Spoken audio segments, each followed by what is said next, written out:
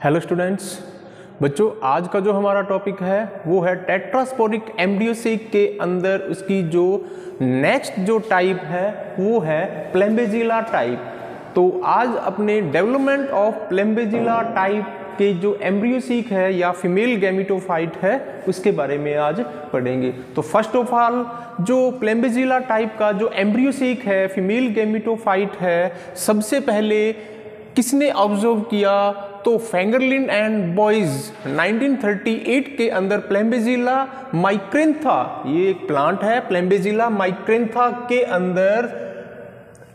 प्लेम्बेजिला type का जो female gametophyte है, यानी एम्ब्रियोसिक है, के डेवलपमेंट की सबसे पहले इसने स्टडी की। तो आज अपने इसके डेवलपमेंट के बारे में देखेंगे।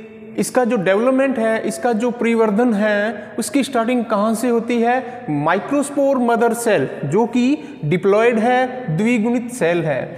माइक्रोस्पोर मदर सेल जो कि डिप्लॉयड है, द्विगुणित है, के अंदर एक म्योसिस डिवीज़न होता है। अर्धसूत्री विभाजन होता है म्योसिस डिवीज़न होता है रिजल्टिंग इन इसका परिणाम क्या होता है? जब मेगास्पोर मदर सेल जो कि डिप्लॉयड है, एक अर्धसूत्री विभाजन होता है तो रिज़ल्ट हमें क्या प्राप्त होता है? चार इसमें फोर जो हैं, न्यूक्लियाई प्राप्त होते हैं और उनका जो विन्यास है, अरेंजमेंट है, वो वन प्लस थ्री, सीनो मेगास्पोर।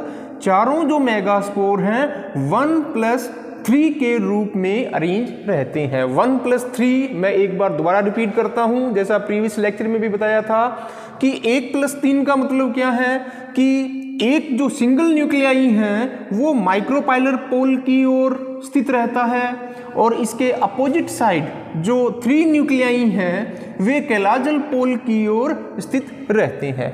ठीक है? और इसी विन्यास में इसी अरेंजमेंट में फर्दर इसमें क्या होगा? एक माइटोटिक डिवीज़न होगा, लेकिन माइटोटिक समसूत्री विभाजन होने से पहले इसमें एक फिनामिना होती है, एक अलग प्रकार की घटना होती है, जिसको अपने बोलते हैं न्यूक्लियर फ्यूजन न्यूक्लियर फ्यूजन का मतलब क्या था?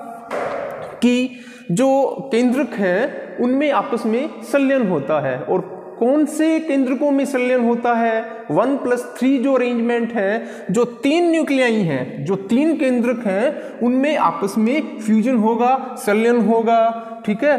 तो संलयन होकर एक ट्रिप्लोइड ट्रिप्लोइड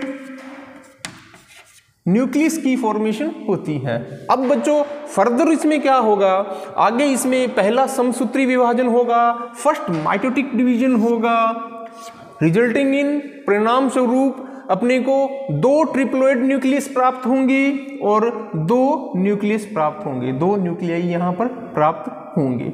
ठीक है? और इनमें से दोनों जो पोल हैं माइक्रोपाइलर और केलाजल पोल, दो जो पोल हैं, दोनों में से एक एक जो न्यूक्लियस है, सेंटर की ओर मूवमेंट करेगा, सेंटर की ओर आकर व्यवस्थित हो जाएगा, ठीक है? और एक मैच्योर एम्ब्रियोसेक में कन्वर्ट हो जाएगा। अब अपने बात करते हैं structure of a mature embryo sac और फीमेल गैमिटोफाइट तो एक मैच्योर फीमेल गैमिटोफाइट की स्ट्रक्चर देखें तो इसमें आप देखो कि जो एक जो न्यूक्लियाई है माइक्रोपाइलर पोल की तरफ़ बचा जो एक न्यूक्लियस है, वो एग सेल के अंदर कन्वर्ट हो जाता है। और ध्यान देने वाली ये बात है कि एग एपरेटस के अंदर सिर्फ़ एक एग सेल ही होता है। यहाँ पर synergid cells are also absent synergid cells इसमें नहीं होती। तो अंड उपकरण एग एपरेटिस के रूप में यहाँ पर सिर्फ़ एक एग सेल ही होता है। और बिल्कुल सेंटर में दो पोलर न्यूक्लियाई पोलर न्यूक्लियाई क्यों बोलते हैं?